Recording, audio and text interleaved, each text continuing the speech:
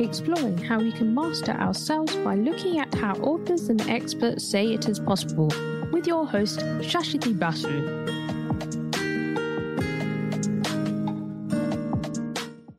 Welcome to Season 3, Episode 101 of How to Be with me, Suswati, as your timid presenter, guiding you through life's tricky topics and skills by reading through the best books out there. The 16 Days of Activism Against Gender Based Violence is an annual international campaign that kicks off on the 25th of November, the International Day for the Elimination of Violence Against Women, and runs until the 10th of December, Human Rights Day. For this event, I want to ask why, for centuries, women and non binary bodies have been treated like something to be ashamed of. Everyday shame affects our relationships with medical professionals.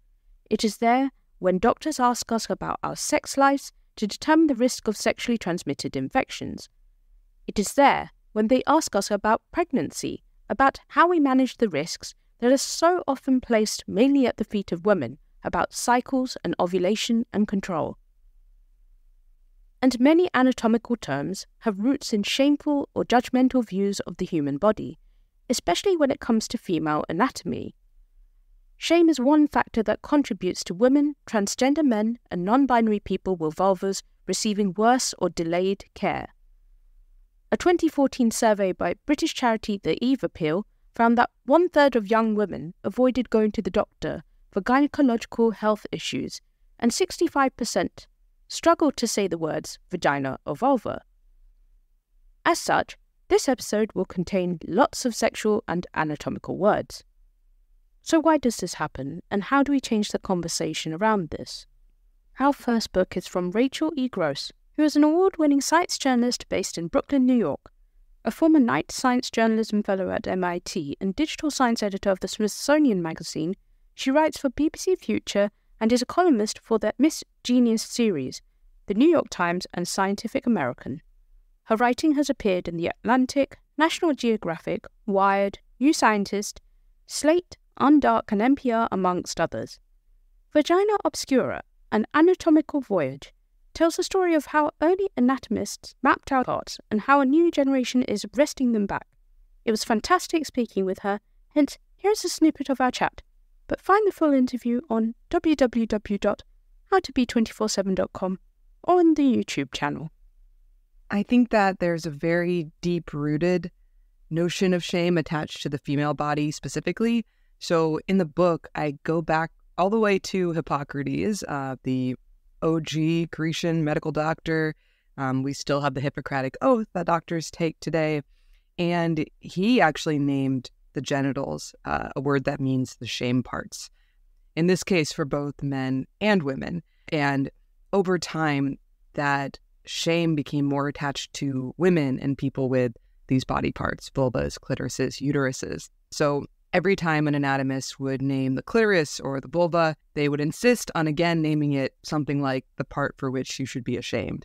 And even today, in German, for instance, you have words like Schamlippen, uh, the labia, which means shame lips. So I can say that it's very deeply rooted. And, you know, you could definitely say it has to do with religious attitudes, though I would say it's kind of more broad than that. It's like cultural attitudes about women needing to be modest and covered up and sexually chaste, and about medicine and broader society not wanting to see them as sexual beings. Um, so, a lot of the skewed science that we're going to talk about that really minimizes the clitoris and female sexuality and the outer female genitalia, which are very involved in pleasure and sexuality, has to do with this shying away from women as being sexual beings. I think it's certainly a part of the puzzle. I think, unfortunately, there's this lethal intersection going on with a lot of what we think of as women's health care, but really is just the care for these body parts the ovaries, uterus, vulva, clitoris, vagina. So, yes, on the one hand, often even doctors are squeamish and don't want to get into their patients' sex lives. So you'll notice that a gynecologist rarely asks you about your clitoris or your orgasms, but also things considered women's health issues are not seen as important. And it's kind of thought of as well, it's not cancer, it won't kill you. So not only is it kind of like there's an ick issue or a shame thing, but also like it's not that important. It's just quality of life. It's not like you're going to die. So why should we put all these resources into investigating it? And a couple concrete examples of that would be vaginal infections. We've recently started looking at the vaginal microbiome, which is basically this protective ecosystem that helps defend us against invaders and infections and STIs and is really important. And if we could find ways to strengthen it, we could prevent millions and millions of infections. But for a long time, medicine has seen these kind of infections as not that important and kind of icky because it's like bugs in the vagina. Yeah, I mean, to me, it's very self explanatory. The clitoris is the homologous organ to the male penis. It just doesn't have a urethra running through it and doesn't make sperm but it is the organ of female sexual pleasure and orgasm, and it's crucial to our overall well being. Um, one thing that sexual health experts often say is sexual health is health because they're constantly having to push against this narrative that sexual medicine isn't real medicine. It's kind of like soft or like frou frou. Actually, like this has to do with all of our quality of life, and that's what makes life worth living. So it's really important to all of us who have a clitoris, it also can be the center of many conditions, including skin conditions, vulvar cancers, and other things that you don't want. So it's just important to be aware of this part of your body and checking it, and hopefully have medicine checking it out from time to time. I guess, first of all, we actually don't know how the nerve endings in the clitoris compare to that of the penis. We actually just found out about two months ago how many nerve endings the clitoris really has. Yes. Um, so I think we'd been repeating these numbers again and again about something like 8,000 nerve endings. And this surgeon who does gender affirmation surgeries and this vulvar specialist that I've talked to, they actually looked up that claim and found it came from a single study on cow clitorises in the 1970s.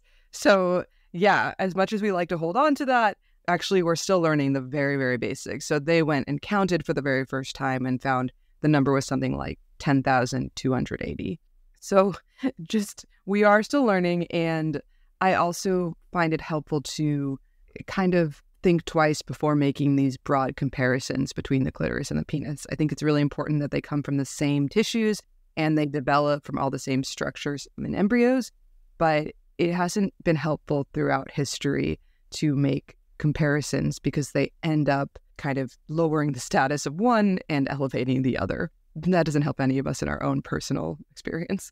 As for practices like female genital cutting, I can't speak on what we can do to end these practices worldwide. I don't think I would be qualified.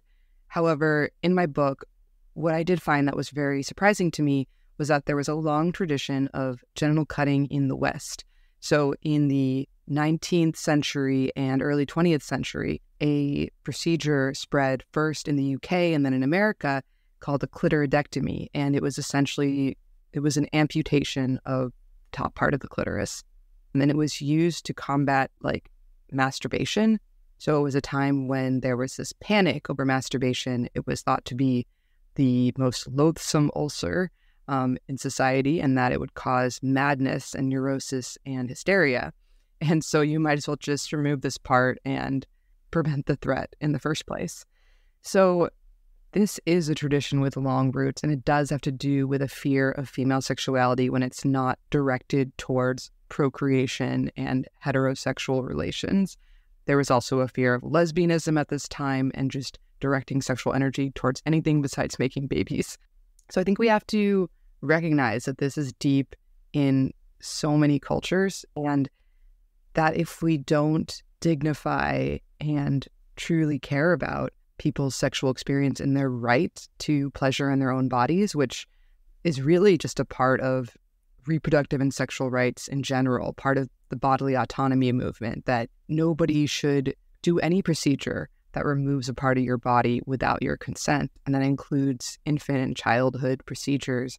Generally, there's no reason that you should have healthy tissue removed for purely cosmetic or cultural reasons. And so I, I guess what we do need is a m- more consistent and broad application of this respect for basic bodily autonomy. Well, I mean, things are changing. I definitely tried to kind of push the story forward in my book and show some of the trailblazers today who are reimagining these organs, including the vagina. So, like, I think you have these dissenting voices. They're often women, scientists of color, LGBTQ researchers, and they're saying, hey, the vagina is not just a passive tube. Actually, it's this incredibly powerful muscular part of the body that's aligned with this ecosystem of important inhabitants. And we need to consider it as its own part of the body and not just a sheath for the penis. So, like, there's progress being made. In the long term, we do need actual investment and research dollars going into vulval and vaginal health. And at least here in the US, you see that very neglected historically. So it was only in 2014 that we got a branch of the NIH, the National Institutes of Health, um, dedicated to vulvas and vaginas when people are not pregnant or trying to get pregnant. So it was the first kind of recognition that you have these body parts your whole life. Um, again, whether or not you get pregnant during your life, they're important to your overall health and we need to take care of them. In Vagina Obscura, the author explores the mysterious and often misunderstood realm of women's reproductive and sexual health. The book begins with the author's personal experience of grappling with a bacterial infection in her vulva, highlighting the frustration and shame many women feel when their bodies encounter medical issues that seem beyond understanding. She describes her journey to find a solution, including a treatment involving boric acid, which she humorously refers to as vagina poison. The book delves into the historical context of how the female body has been viewed in medicine, starting with Hippocrates' limited understanding of women's anatomy. It discusses the long standing shame and silence surrounding female reproductive organs and the linguistic challenges in finding appropriate terminology. The author also addresses the complexity of gender and the fact that not all individuals with female anatomy identify as women. Throughout the book, she emphasizes the need for more research and understanding of women's body, including the vagina, cervix, ovaries, and related systems. She highlights how science and medicine have historically focused on male bodies, leaving a significant knowledge gap regarding female anatomy. Hence, the work aims to empower readers to embrace and understand their bodies better, challenging the stigma and silence that have surrounded women's health for centuries. In the early 20th century, Mary Bonaparte, a French princess, sought a solution to her inability to experience orgasm during vaginal intercourse, which was considered a societal expectation for women. Her pursuit of pleasure led her to Dr. Joseph von Halban's experimental clitoral surgery, where her clitoris was repositioned to enhance her sexual satisfaction. Mary's journey began with her frigidity diagnosis, a condition she struggled with throughout her marriage to Prince George of Greece and Denmark. Despite having two children, Mary felt unfulfilled and embarked on passionate affairs with prominent men in search of sexual satisfaction. Her longing for a vaginal orgasm pushed her to seek a radical solution. She turned to psychoanalysis and eventually to Sigmund Freud himself for help. Freud believed that Mary's issues stemmed from unresolved psychological conflicts related to her feminine identity. He analysed her extensively, becoming a mentor and a father figure in her life. However, Freud's insights couldn't alleviate Mary's physical issues. She decided to undergo clitoral surgery by Dr. Halban. The procedure involved moving her clitoris lower to improve its stimulation during intercourse. Despite the pain and risks, Mary believed the surgery was her path to sexual fulfillment. Mary's story reflects the complex attitudes towards female sexuality in the early 20th century, as society expected women to find pleasure through this way. The medical community's evolving understanding of the clitoris and its role in female pleasure also played a significant role in shaping perceptions of female sexuality during that time. And guess what? Mary didn't find what she wanted. Mary was ahead of her time in exploring female sexuality as she experimented with both men and women but she faced many challenges and criticisms, especially from Freud, who believed that women needed to transition their pleasure from the clitoris to the vagina. However, modern understanding of female anatomy tells us that the clitoris is a complex and extensive organ, and there's no need to pit it against the vagina. Mary's story serves as a reminder of the historical misconceptions and struggles surrounding female sexuality and the importance of accurate knowledge about the female body. In the end, she may not have found the answers she sought, but her quest contributed to a greater understanding of women's sexual experiences. Dr. Helen O'Connell's groundbreaking work on the female clitoris is also explored, along with its profound implications. O'Connell, an Australian urologist, challenged historical misconceptions and misrepresentations of the clitoris as a small, insignificant organ. Through meticulous dissections and research, she unveiled the true complexity and significance of the clitoris, demonstrating that it extends deep within the female body, consisting of a network of erectile tissues and nerves. Her work debunked Freud's false dichotomy between the clitoris and the vagina, highlighting that both are interconnected and equally vital for sexual pleasure. The book also delves into the impact of female genital cutting, or FGC, and how it has affected women like Aminata. Aminata's journey to reclaim her identity and sexual autonomy through clitoral reconstruction surgery is described. Dr. Ghada Hatem, a dedicated healthcare provider, plays a crucial role in supporting women who have undergone FGC by offering clitoral reconstruction and comprehensive care. The story underscores the importance of Dr. O'Connell's research in providing a scientific basis for understanding and addressing women's sexual health. It sheds light on the resilience and strength of women who seek to reclaim their bodies and identities in the face of cultural practices like FGC. In the 1980s, Dr. Pierre Foldès a humanitarian doctor in Burkina Faso encountered women who had undergone FGC while primarily treating rectovaginal fistulas. He realized that these women not only faced physical issues but also the pain and loss of sexual pleasure due to the removal of their clitorises. With little knowledge about the clitoris at the time, he conducted extensive research and developed a surgical technique to reconstruct the clitoris and restore sexual sensation. Today, many surgeons have learned this technique from Foldès, and he has performed surgery on thousands of women. However, he acknowledges that surgery alone cannot address all aspects of female sexuality. It's essential to consider how individuals feel in their bodies, their self image, and their communication with sexual partners. Many women require holistic care, including therapy and support from sexologists. The notion of normal female sexuality has been a long debated question. Early sexologists like Dr. Robert Latou Dickinson challenged Freud's theories and emphasized the importance of the clitoris in female pleasure. They dispelled myths about vaginal and clitoral orgasms, highlighting that the clitoris played a central role. Over time, researchers, including Dr. O'Connell, investigated the anatomy of the clitoris and its connection to female pleasure. They found no distinct G spot, but instead emphasized that female pleasure is complex, involving various anatomical structures and individual preferences. Beverly Whipple, who popularized the concept of the G spot, regrets how it was simplified by the media, highlighting that female pleasure is diverse and not limited to a single spot. She now promotes the idea that pleasure can be derived from numerous body parts and types of touches. Dr. Patty Brennan, a biologist, stumbled upon a fascinating discovery about bird genitalia while studying the great tinamou in Costa Rica. She observed a male tinamou with a peculiar appendage during mating. This is a kind of duck, by the way, which turned out to be a penis, a rarity in the avian world. This unexpected finding prompted her to explore the mysteries of bird genitalia further.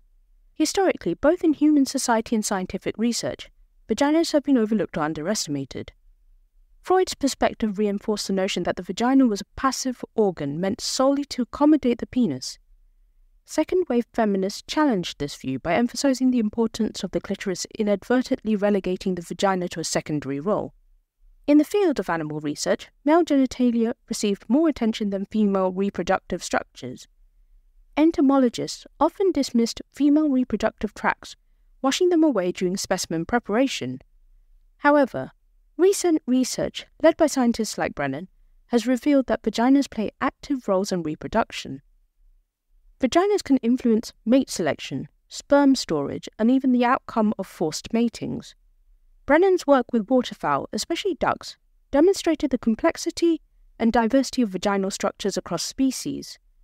In some cases, vaginas evolved to make mating more challenging for males, including leading to coevolution between male and female genitalia.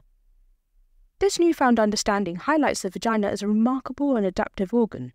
However, the neglect of female reproductive anatomy can be traced back to historical biases, including Charles Darwin's views. Darwin, while fascinated by various traits related to sexual selection, avoided discussing genitalia, especially female genitalia, in his writings. His beliefs about male superiority and female passivity influenced the scientific community's perspective on female anatomy. Darwin's reluctance to address female genitalia extended to his views on human differences, where he perpetuated the notion of female inferiority. This perspective played a role in limiting women's access to higher education and careers. In the past century, biologists struggled to understand the incredible diversity of genitalia across species, often resorting to the idea of lock and key, where genitalia were thought to be species specific to prevent mating mistakes.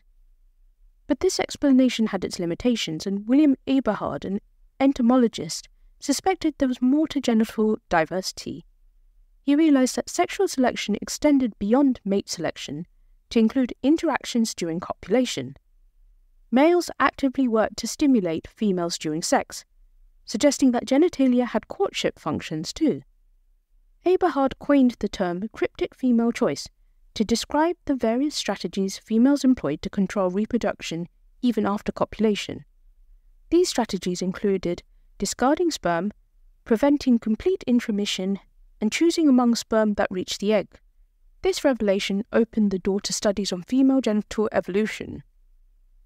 Despite this, female genitals remained less studied and understood than male genitals due to biased research. This bias has led to a lack of knowledge about what happened inside vaginas.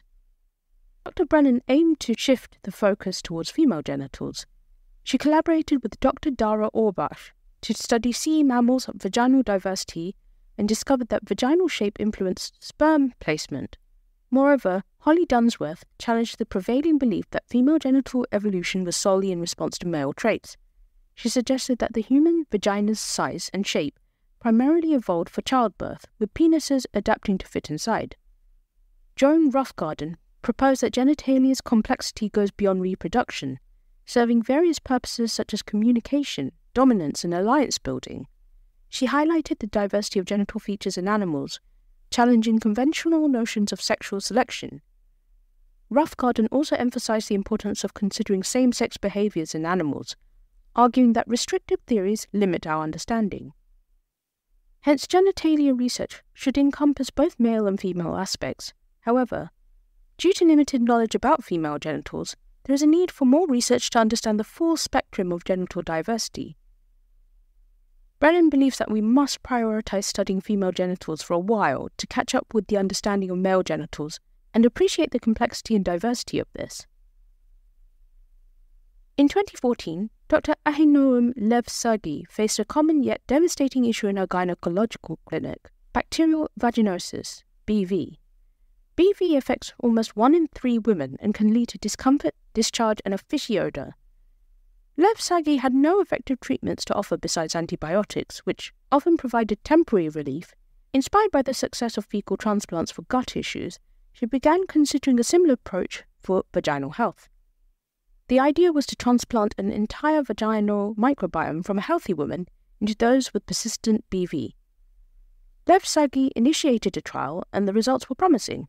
Participants received vaginal microbiome transplants, and their symptoms improved significantly this groundbreaking approach offers hope for those suffering from recurrent BV, a condition that can negatively impact self esteem, relationships, and overall health.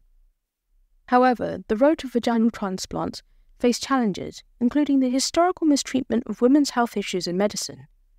It wasn't until recently that researchers started exploring the vaginal microbiome's complexity and potential treatments. In the 1920s, Lysol marketed itself as a feminine cleanser, even promoting it as a contraceptive. Today, nearly one in five American women still douche, unaware that it can strip the vagina of its natural protection. In South Africa, blessers prefer tight and dry vaginas, leading girls to use harmful substances. Researchers like Jacques Ravel seek solutions working on lab grown healthy vaginal environments Recognizing that there's no one size fits all definition of a healthy vagina is essential, especially considering racial and social factors that affect vaginal health. The diet theory suggests our unique vaginal microbiome could be linked to our ancestors' dietary habits. In 1944, Miriam Menkin, a dedicated technician, embarked on a groundbreaking journey at Dr. John Rock's fertility clinic in Boston. Armed with her precision and dedication, she pursued her scientific passion, the study of human eggs. Her mission was to fertilize human eggs outside the womb, offering hope to women with blocked fallopian tubes. Miriam's meticulous work involved retrieving ovaries, extracting eggs, and introducing fresh sperm into a watch glass to create embryos. It was a tedious and delicate process that she executed tirelessly. After six years of failed attempts, a momentous day arrived. Fatigued, she accidentally let a sperm and egg interact for a longer time than her usual protocol. That small change led to a historic breakthrough the world's first human embryo fertilized outside the womb. Excitement and disbelief filled the lab. In the mid 20th century, her groundbreaking work in fertilization laid the foundation for in vitro fertilization, or IVF, a technology that has revolutionized human reproduction. Miriam's journey began with a fascination for the intricate dance of the sperm and egg. Contrary to initial perceptions of a sperm as all powerful, she discovered their mechanical weakness, unable to break even a single chemical bond. The zona pellucida, a jelly like membrane encasing the egg, proved essential. It captured sperm with sticky sugar chains, preventing stragglers from entering. Upon sperm egg contact, the egg swiftly blocked other sperm receptors released calcium granules to harden the zona, and initiated cell division. Within days, the embryo hatched and implanted in the uterus. Miriam's curiosity led her to work alongside renowned reproductive expert Dr. Rock, contributing significantly to the understanding of fertilization. Her life was marked by personal challenges, including a difficult marriage and raising a disabled child. Despite these hurdles, she remained committed to her passion for reproductive science. Her determination eventually brought her back to Rock, and she continued to contribute to research on fertility, though she never returned to IVF. Menkin's legacy lives on in the millions of babies born through IVF and the broader landscape of reproductive technologies. John Tilly, a reproductive scientist, embarked on a journey to understand the aging process of ovaries. These vital organs play a central role in a woman's reproductive health, but they age long before other tissues in the body. Tilly's research aimed to slow down ovarian aging, which could benefit women undergoing cancer treatments and alleviate menopause related issues. Surprisingly, his experiments revealed that eggs didn't disappear as expected. Instead, they seemed to regenerate. Tilly hypothesized that stem cells might be involved in this process, challenging established beliefs in the field. His groundbreaking findings led to significant controversy and reshaped our understanding of ovarian biology.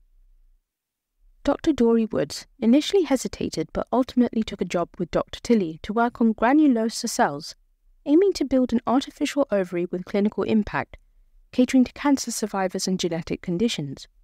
They found a way to isolate stem cells from ovaries and envisioned extending ovarian function. This research held the potential to delay menopause and improve women's health. Before the 17th century, ovaries were referred to as female testicles, and Dr. Regnier de Graaf played a crucial role in understanding their functions.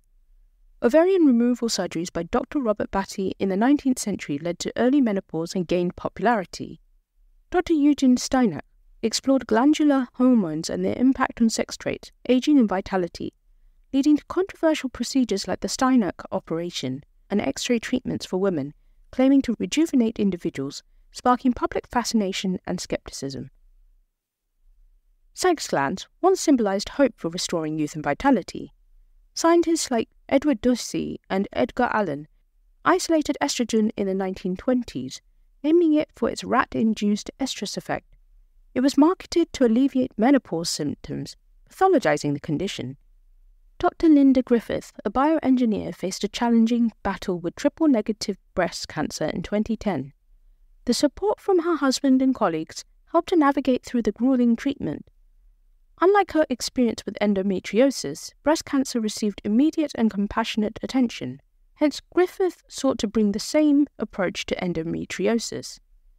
During her cancer treatment, she directed her lab to study endometriosis patients Seeking to understand the disease's complexity, her work identified networks of inflammatory markers in patients, taking a step towards classifying endometriosis subtypes. In 2007, she was asked to speak about her work at a Women in Science and Engineering luncheon, which annoyed her initially. During the event, she realized the lack of treatment progress for endometriosis, which is a chronic disease that also affected her niece, inspiring her to open the Center for Gynepathology research at MIT. Her lab uses uterine organoids to study endometriosis and advocates for a shift from viewing it as a woman's issue to a broader health concern. The disease's complexity and impact beyond the uterus warrant a multidisciplinary approach. Dr. Marci Bowers, a pioneering gender affirmation surgeon, has transformed the field of gender confirmation surgery. In a 2007 conference, she highlighted the vast improvement in surgical techniques since the 1960s and 70s, when basic hole creation was the goal. Bowers' approach prioritizes aesthetics, functionality, and female sensitivity earning her the nickname mm-hmm. the Georgia O'Keeffe of genitalia.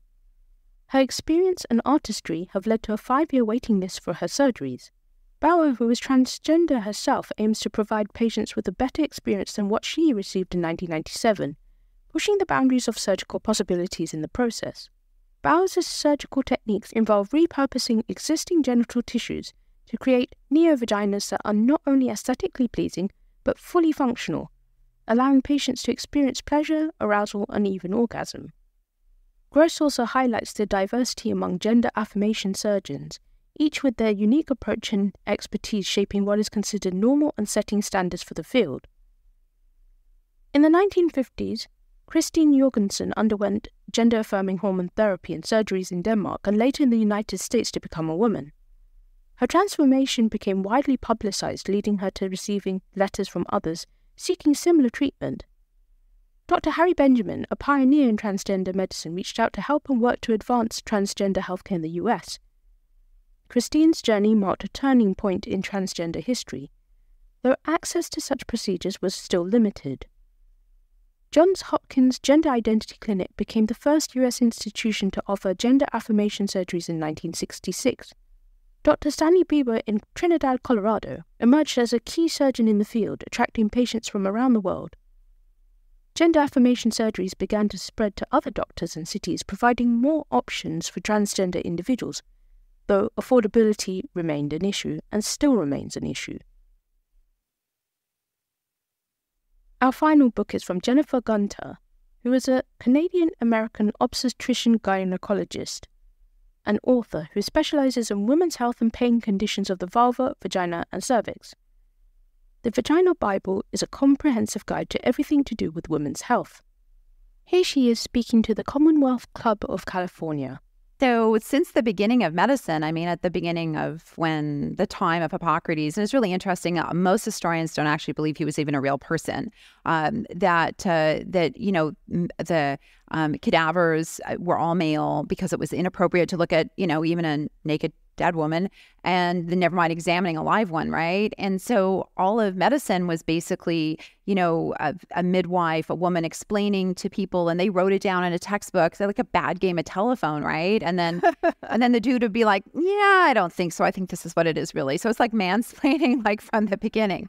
So you have that kind of like history but it you know even when i was in medical school so i pulled back like i kept a lot of my textbooks and so i looked at my anatomy book which was Just published 88 or something? Um yeah i think it was published maybe in like 86 87 yeah. something like that. So there's three pages with illustrations of the penis beautiful color plates and the clitoris was this tiny little inset up in one corner. It was puce. And and it was labeled the miniature penis no, so this is the gold yeah. standard, actually. Yeah. You know, yeah, so I was like to point out, and this is something that a lot of women find really empowering: is the clitoris is the only organ in either men or women that is designed solely for sexual pleasure. Right. It has right. no other function. So I like to think of the clitoris as a butterfly. So yes, exactly. Um, and so the head of the butterfly is like the part that you see, and that's called the glans. And the body of the butterfly is like the body of the clitoris. And the the top part of the wings kind of folds down underneath the labia and wraps around the urethra, and that's uh, the clitoral bulbs. And then the the lower part of the wings wraps a little bit further back, and that's the crura, and that's all the clitoris. The term vagina often oversimplifies the complexity of female genitalia. Firstly, having a vagina doesn't define one's gender, as many transgender individuals do not identify with their assigned sex at birth. Secondly, vagina technically refers to the inner part, while the external area is the vulva. The vagina is a muscular tube connecting the vulva to the cervix, lined with mucosa cells containing sugar to support beneficial bacteria, maintaining a healthy pH. Vaginal discharge is normal and consists of lactobacilli, mucosa cells, and fluid. The vulva includes the maw, labia, majora and minora, and the clitoris, all of which can become engorged during arousal.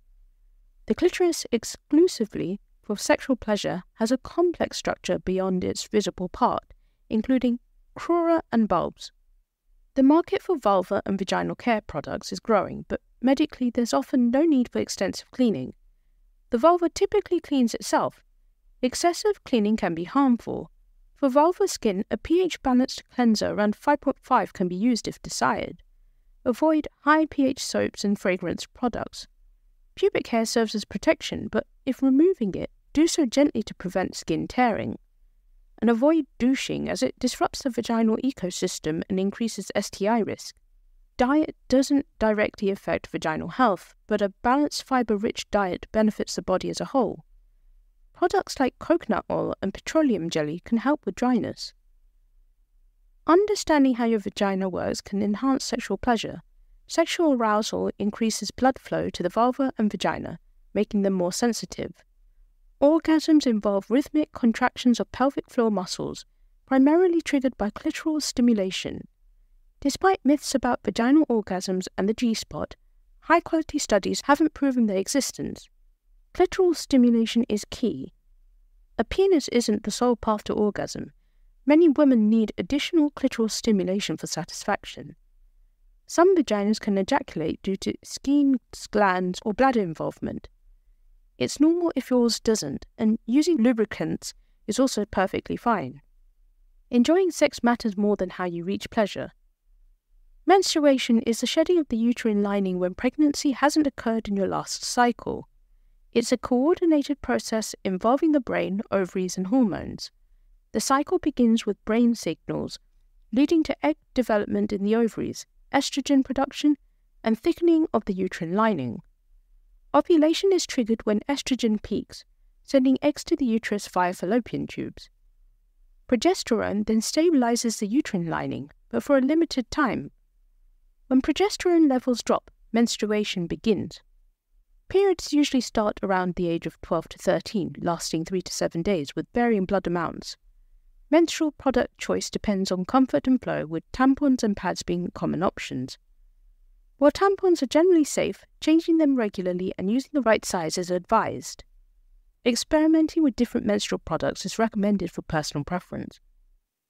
Throughout significant life events like pregnancy, childbirth, and menopause, a woman's body undergoes transformations that also impacts the vagina and vulva. During pregnancy, changes begin as early as four weeks after conception with increased blood flow to the vagina and hormonal shifts. Yeast infections and group B streptococci can occur during pregnancy, requiring testing and treatment. Childbirth can lead to a temporary vaginal tearing in up to 79% of women but the body's natural ability to heal varies. Perineal massages may reduce tearing, but outdated practices like shaving or cleaning the vulva before delivery have no effect. Menopause involves hormonal shifts, potentially causing symptoms like vaginal dryness, irritation, and hot flashes, treatable with estrogen based therapies. Most sexually active women will contract an STI at some point in their lives, a common occurrence with treatable options. Untreated STIs can lead to infertility, cancer, and heightened HIV risk, making regular screenings, particularly for young people, crucial. Local health departments often offer affordable and anonymous testing. Human papillomavirus, HPV, is the most prevalent STI globally, with over 80% of women encountering it. While most HPV types show no symptoms, some can cause genital warts and cervical cancer underscoring the importance of regular testing and HPV vaccines. Most effective before initial virus contact, recommended for girls aged 9 to 12. Condoms are essential for STI prevention, although correct usage is crucial as 29% may fail in real world conditions. A yeast infection is a common issue for individuals with vaginas. Yeast, a type of single cell organism, is normally present in small amounts but can overgrow, causing symptoms like redness, itching, and pain. The exact causes of overgrowth are unclear but could involve a weak vaginal microbiome, immune system problems, or low iron levels. Around 70% of women experience a yeast infection at least once in their lives, with 5 to 8% facing recurring infections. Candida albicans is the most common culprit, but non Candida species are emerging. Accurate diagnosis by a doctor is vital as over half of self diagnosed cases are incorrect. Effective antifungal drugs known as azoles treat yeast infections as there's no conclusive evidence supporting home remedies. Bacterial vaginosis, BV, as mentioned before, is another common issue resulting from an imbalance in vaginal bacteria. BV can cause discomfort and odour, but its precise causes remain uncertain. Proper diagnosis and treatment are essential as BV can increase the risk of STIs and pelvic inflammatory disease. Existing drugs target the bad bacteria but don't boost beneficial lactobacilli, Probiotics containing lactobacilli show potential but lack comprehensive studies. Condom use may protect against BV as they prevent the introduction of foreign substances and bacteria into the vagina during sex. However, condoms with spermicides can disrupt vaginal ecosystems. Taking care of your vagina and vulva involves essential steps such as regular STI testing for sexually active individuals and annual cervical cancer screenings. Consulting a doctor for symptoms like itching, burning, or pain is crucial, even if you believe you know the diagnosis, as self diagnosis is often incorrect. Describing symptoms accurately, including location, timing, and sensation, helps doctors make informed decisions. While online research is valid, it's essential to discern reliable sources from sexist or misleading information. The United States National Library of Medicine offers trustworthy resources and the tutorial helps assess internet health information credibility. Be cautious of products labeled pure natural detoxifying, focusing on minimal use for vaginal and vulvar hygiene. So to sum up, Gross says in Vagina Obscura that our bodies can blind us, but they can also free us to see differently. They can help us bear witness to how a multitude of people, bodies, and perspectives have fallen through the cracks. Only by seeing connections instead of silos and sameness instead of difference can we move the science of the female body forward and point the way to a truer, fuller understanding of all bodies. Gunter says in Vagina Bible that your vulva and vagina are resilient and require minimal maintenance despite patriarchal myths and wellness companies' misleading claims. Natural changes during life stages like pregnancy, menopause, or dealing with STIs are typically normal. Consulting a doctor is vital for any discomfort or concerning symptoms. Most importantly, nurturing your vagina's health involves gaining a deep understanding of it, enabling you to provide appropriate care when needed. It is an embarrassing subject to talk about. Even saying the words feel unnatural to me at times. But it is really essential that we build a vocabulary around this so that we can have an honest discussion about it. What do you think? How do we remove the stigma around women, trans, and non binary bodies? Let us know. Please join in on the conversation by following at How to Be 24 7 on Instagram, Twitter, and Facebook, and subscribe on the podcast, which can be found via www.howtobe247.com. We have Spotify polls, so feel free to send your responses there too. You can even check out all our exclusive unseen bonus material from every single interview all for a price of a coffee on both Spotify and Patreon under the name Behind the Scenes Exclusives from the How to Be Books podcast. All the latest ones are on Spotify, while more than 30 exclusives are on Patreon. We've also launched a shop on Patreon where you can buy one of the exclusives. Sign up to be part of the movement. Please do leave a review if you found this helpful and you want to be featured. Remember to check out the website as well it was Read Palestine Week, so we reviewed Mosab Abu Toha's beautiful poetry collection, Things You May Find Hidden in My Ear.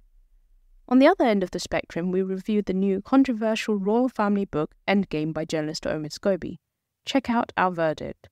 It was also wonderful to see the legendary British Turkish writer Elif Shafak talk about her new work.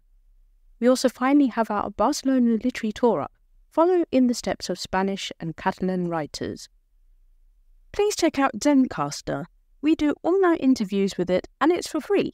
If you've ever thought about podcasting before and realized that you need a lot of different tools and services, those days are over. With Zencastr's all in one podcasting platform, you can create your podcast all in one place and distribute to Spotify, Apple, and other major destinations. Go to zencastr.com forward slash pricing and use my code how to be books and you'll get 30% off your first month of any Zencastr paid plan. I want you to have the same easy experience as I do for all my podcasting and content needs. It's time to share your story. See you in two weeks' time.